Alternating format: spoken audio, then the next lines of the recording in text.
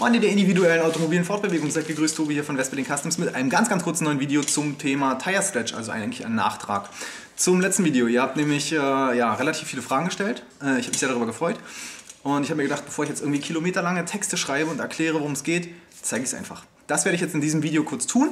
Und äh, ja, es geht um das Thema Strecken von Reifen. Auf diese Weise kann ich vielleicht gleich ein paar Fragen mit beantworten und wir lernen alle noch zusätzlich was. Wie immer, wenn man irgendwas verstehen will, braucht man meistens ein bisschen Grundwissen. In dem Fall müssen wir zum Beispiel wissen, dass es eine sogenannte ETRTO gibt. Was ist die ETRTO? Das ist ein Konsortium, das sich 1964 das erste Mal getroffen hat. Und zwar besteht das aus Reifenherstellern, Felgenherstellern und Ventilherstellern. Mitglieder in diesem Konsortium sind relativ bekannte Reifenhersteller wie zum Beispiel Michelin oder Pirelli, Goodyear, Bridgestone, Yokohama, Toyo, Kumo und wie sie alle heißen. Im Bereich der Felgen sind so bekannte Hersteller wie zum Beispiel CMS oder auch die Alka-Gruppe äh, Mitglieder der ETATO. Zu Alka gehört zum Beispiel äh, DOTS, das habt ihr sicherlich schon mal gesehen oder gehört, das Logo, äh, und äh, AEZ. Warum setzen sich diese Hersteller seit 1964 in der ETRTO zusammen und besprechen Dinge? Die haben drei Ziele. Das erste ist die Austauschbarkeit der Produkte. Das heißt also, dass man wirklich jeden Reifen auf jede dafür gedachte Felge montieren kann und auch jedes Ventil in jede Felge einsetzen kann, ohne dass es da irgendwelche Passungsprobleme gibt. Punkt 2 war die Absprache gemeinsamer Abmessungen, dass man also sich auf bestimmte Standardabmessungen festlegt. Und Punkt 3 ist der ungehinderte Informationsaustausch. Das bedeutet also, dass die Hersteller untereinander kooperieren und nicht irgendwie da im geheimen Kämmerlein irgendwas absprechen oder tun, sondern dass man gemeinsam eben sich austauscht und dass man bestimmte Informationen auch nicht hinterm Berg hält, sondern dass man eben die dem anderen zur Verfügung stellt, damit auch der Produkte entwickeln kann. Der eine oder andere fragt sich jetzt vielleicht, okay, Industrie ist ja alles schön und gut, aber was bringt mir das? Sehr cool ist, dass diese technischen Datenblätter, also diese Technical Data Sheets, auch öffentlich äh, zur Verfügung stehen. Das heißt also, man kann sich von jedem Reifenhersteller, meistens auf der Webseite, diese Daten auch herunterladen. Und das ist für uns nachher auch noch wichtig. Wo spüren wir, dass es die ETRTO überhaupt gibt? Das spüren wir sehr deutlich, weil die ETRTO sich zum einen zur Aufgabe gemacht hat, mit internationalen Organisationen zusammenzuarbeiten und, und jetzt kommt's, mit gesetzgebenden Körperschaften. Internationale Organisationen, ist klar, sind in unserem Fall in der Regel die Prüforganisationen. Das heißt also, die ETRTO arbeitet direkt mit dem TÜV und der DEKRA und KÜS und wie sie alle heißen, diesen ganzen Prüforganisationen zusammen. Das ist das eine. Gesetzgebende Körperschaften bedeutet, dass die ETRTO auch dem Gesetzgeber Empfehlungen gegenüber ausspricht, die dann meistens weil das eine Fachkomitee ist oder eine Fachorganisation, äh, meistens vom Gesetzgeber auch übernommen werden. Das heißt also, die ETRTO sagt irgendwie, das und das passt, das kann man machen, das ist technisch korrekt. Der Gesetzgeber, das sind ja meistens dann irgendwelche Gutachter, die dann für den Gesetzgeber arbeiten, hört sich die ganze Sülze an und dann wird das einfach in ein Gesetz reingepresst. Und das merken wir dann sehr deutlich, weil das sind nämlich genau die Dinger, die uns sagen, das darfst du, beziehungsweise das darfst du nicht. Also kann man zusammenfassen, die ETRTO hat einmal Einfluss auf die ganzen Prüforganisationen und auch auf den Gesetzgeber. Wie sieht das Ganze nun rein rechtlich in Deutschland aus? Was ist erlaubt, was ist nicht erlaubt? Grundsätzlich, wie ich ja eben schon erwähnt habe, halten sich der TÜV und die DEKRA an die Vorgaben bzw. an die Empfehlungen von der ETRTO. Das Ganze macht auch Sinn, weil wer weiß schon besser als der Felgenhersteller oder der Reifenhersteller, was technisch möglich ist und was geht. Die prüfen ihre Produkte und äh, die geben dann natürlich diese Empfehlung an die Prüforganisationen weiter. Kommen wir zum Thema Stretch Tires. Ich habe hier zufällig einen rumliegen. Das ist ein Reifen, der relativ weit auf eine normale Felge gestreckt ist. Also für alle, die jetzt sich für die technischen Informationen interessieren, das hier ist ein 145 65 R15. Demzufolge ist das auch eine 15 Zoll Felge. Aber das nur am Rande. Also, Stretch Tires haben wir beim letzten Video schon gesehen, heißt, die Felge ist viel zu breit und der Reifen wird von seiner normalen Breite aufgrund der Montage auf die Felge hinaufgezogen. Das heißt, wir haben hier außen solche konischen Ränder und das Ganze nennt man halt im Englischen stretched, wenn das nach außen gezogen ist. So viel zur Definition. Die ETRTO wiederum hat natürlich ganz andere Ziele. Die achten darauf, dass so ein Reifen eine möglichst lange Haltbarkeit hat und natürlich auch die beste Funktion gegeben ist. Das bedeutet also, wenn ich jetzt äh, auf, anhand dieser ETRTO-Tabellen mich orientiere, dann werde ich niemals in irgendeiner ETRTO-Tabelle eine Reifen- und Felge-Kombination finden, die so ein Stretchen hier zulässt. Allerdings handelt es sich bei diesen ETRTO-Tabellen auch für die Reifenhersteller nur um Empfehlungen. Das heißt, jeder Reifenhersteller kann euch theoretisch auch bestätigen, dass sein Reifen vom Modell XY auf eine Felge mit der Breite und dem Durchmesser so und so passt.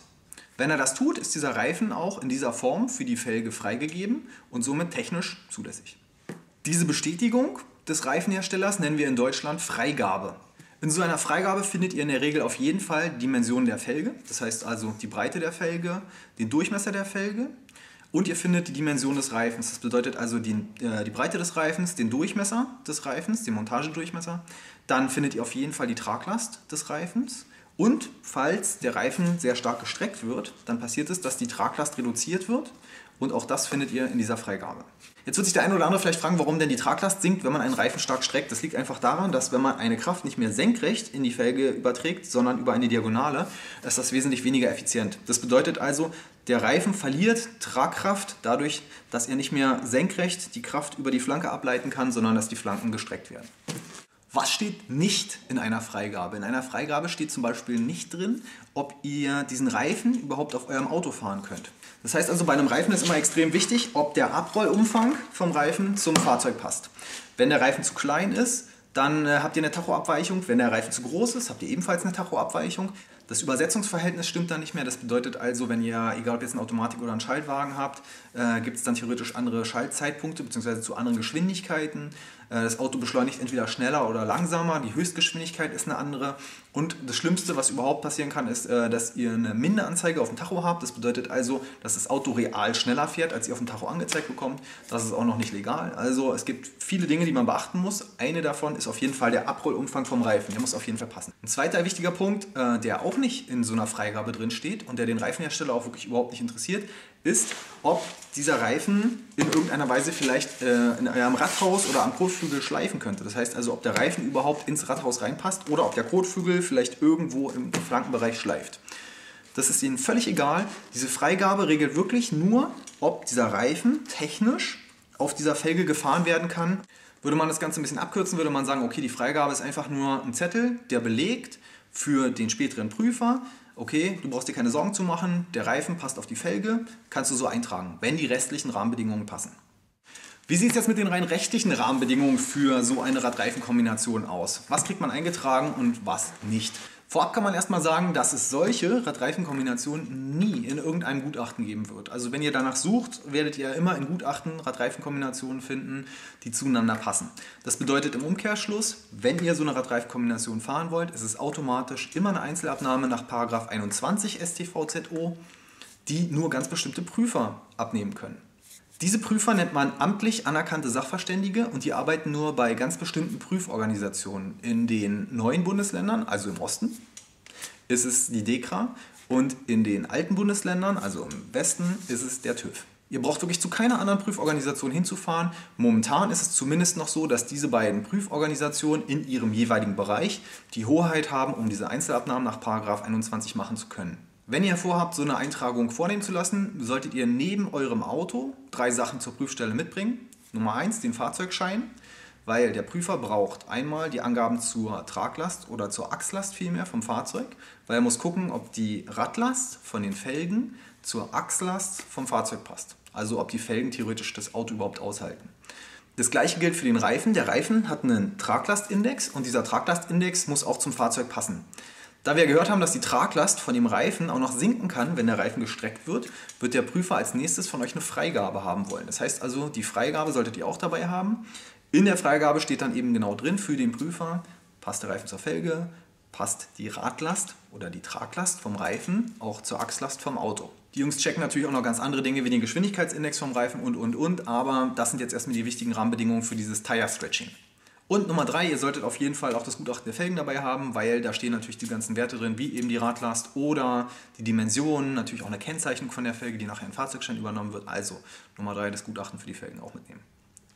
Kommen wir zu euren Fragen. Sehr spannend für mich, weil ihr habt gesehen, das ist äh, eine umfangreiche Thematik. Nicht unbedingt super kompliziert, aber man muss halt einfach eine Menge wissen. Und äh, jetzt fand ich einfach spannend zu sehen, was ihr dann so an Fragen gestellt habt und äh, die versuche ich jetzt mal ganz kurz zu beantworten. Janine hat gefragt, äh, wie es denn aussieht mit äh, dem Sinn hinter der ganzen Geschichte. Warum streckt man einen Reifen auf einer Felge so sehr? Was hat das Ganze für einen Sinn? Da gibt es eigentlich nur eine ernstzunehmende oder richtige Antwort und äh, das wäre einfach Optik. Es gibt keinen rationalen Grund dafür. Die ganze Sache ist vielleicht ein bisschen vergleichbar mit einem äh, Kleidungsstil, ja, dass man sagt, okay, das ist eine bestimmte Mode. Oder äh, dass man sagt, okay, Leute, also es gibt nicht viele Leute, die fahren äh, so eine Radreifenkombination. Es ist also einfach die Zugehörigkeit vielleicht zu so einer kleinen Gruppe an Individualisten. Der Seewolf hat ebenfalls einen Kommentar verfasst und hat das Ganze für grenzwertig befunden und äh, hat sich nach den Dimensionen von äh, den Kompletträdern aus dem letzten Video erkundigt. Das heißt also, was für eine Dimension die Reifen und die Felgen haben. Also ganz kurz, grenzwertig ist sicherlich bei dem Kunden das Ziel. Das bedeutet also, die Jungs äh, versuchen irgendwie wahrscheinlich sogar ein bisschen über die Grenze hinauszukommen. Ähm, ich kann dir leider nicht genau sagen, was für eine Dimension die Reifen und Felgen überhaupt haben. Ähm, ich meine, es waren 2,5er Reifen, 2,45, 2,545, irgendwie sowas an der Vorderachse auf einer 8,5 äh, Zoll Felge. Ähm, an der Hinterachse war es meiner Ansicht nach ein 225er Reifen auf einer 9,5 Zoll Felge, aber völlig unverbindlich. Ich äh, versuche auf jeden Fall nochmal den Kontakt herzustellen und ich hoffe auch, ähm, dass ich dann im Frühjahr vielleicht nochmal ein Video zeigen kann von dem Fahrzeug äh, mit den montierten Rädern. Somit kommen wir auch gleich zu Karl K. Der hat äh, nämlich erwähnt, dass es ganz nett gewesen wäre, wenn ein paar Bilder vom äh, montierten Zustand zu sehen gewesen wären. Das ist absolut korrekt, hätte ich super gerne gemacht. Soviel ich weiß, ist äh, das Auto noch nicht mal fertig gebaut für die Saison. Ich glaube, das ist äh, alles noch so ein bisschen äh, Vorstadium. Und äh, ich werde auf jeden Fall versuchen, das Ganze nachzureichen, dass man dann also auch mal sieht, wie das Ganze im Endergebnis aussieht. Und last but not least hat äh, Shigorex einen äh, Kommentar verfasst, äh, in dem es darum ging, ob äh, das Ganze wirklich nur wegen der Optik gemacht wird und äh, wie es mit der gesetzlichen Lage aussieht. Also Optik hatten wir ja erwähnt, wirklich tatsächlich der Hauptgrund für die ganze Nummer. Und ich kann vielleicht nochmal erklären, ich habe hier noch einen Reifen rumliegen, ähm, warum das Ganze eigentlich nur Optik ist. Weil wenn man sich den Reifen anguckt, sitzt der normalerweise gerade mit der Flanke auf der Felge. Im Vergleich dazu hier dieser konische Bereich. Das bedeutet, wenn der Reifen so sitzt, kann er, wenn er auf der Felge ist, ein bisschen äh, während des Fahrzustands wanken. Das heißt also, er kann ein bisschen zu beiden Seiten sich auf der Felge bewegen. Das heißt, die Felge steht und der Reifen kann sich in Kurvenfahrten zum Beispiel auf der Felge ein ganz klein bisschen bewegen. Das ist sehr gut, weil dann der Grip nämlich nicht abreißt. Das heißt also die Haftung zur Straße. Das heißt, wenn man schnell in eine Kurve fährt, dann ist es so, dass der, die das Fahrzeug versucht nach außen zu schieben und der Reifen verschiebt sich ein ganz klein bisschen auf der Felge. Das heißt, er, er wandert ein bisschen auf dem Sitz. Der Vorteil dabei ist, dass dann in dem Moment der Grip noch nicht abreißt. Erst wenn man es übertreibt, dann rutscht die ganze Kiste theoretisch nach außen. Das passiert bei diesem Reifen relativ langsam, dieses Ausbrechen und Wegrutschen, weil der Reifen eben schön auf der Felge arbeiten kann. Im Verhältnis dazu ist es bei diesen gesquetschten Reifen so, dadurch, dass der Reifen in beide Richtungen ja, fixiert ist und nicht mehr wandern kann, passiert es, dass wenn man mit diesen Reifen eben schnell in die Kurve fährt, dass dann schneller der Grip abreißt. Das heißt, der Reifen rutscht schneller über den Asphalt, weil er einfach nicht auf der Felge wanken kann und nicht walgen kann, sondern, ja, walgen ist übrigens auch nochmal ein Thema, der Reifen kann auch nicht walgen, weil er ist so stark schon gestreckt, dass die Flanke auch nicht mehr die Möglichkeit hat, so gut äh, sich zusammenzudrücken. Das heißt also, der Fahrkomfort leidet auch ein bisschen ähm, und das Auto wird eben schneller unkontrollierbar. Das heißt, man muss einfach besser fahren können, man muss ein besseres Gefühl dafür haben, wann der Grip abreißt, weil das relativ abrupt und äh, schneller passiert als bei einem normalen Reifen. Soviel zum Thema Sicherheit und äh, warum das Ganze wirklich nur Optik ist und äh, sonst eigentlich keinen richtigen Performance-Sinn hat. Die gesetzliche Lage hatten wir ja schon geklärt. Solange ihr euch mit der Materie auskennt, euch an die gesetzlichen Rahmenbedingungen haltet, eine Freigabe vom Reifenhersteller habt und der Prüfer das Ganze für gut und richtig befunden hat, seid ihr auf der legalen Seite und könnt so fahren. Das heißt also, ein leichter Tire Stretch ist auf jeden Fall möglich. Ich hoffe, ihr seid nach diesem Video nun bestens im Bilde. Wenn ihr weitere Rückfragen habt, freue ich mich auf jeden Fall darüber und werde die kurzen gerne unter dem Video beantworten. Wenn es irgendwas ist, was man anschaulich besser zeigen kann, werde ich sicherlich wieder ein neues Video drehen. Also, macht's gut, bis zum nächsten Video, haut rein, ciao.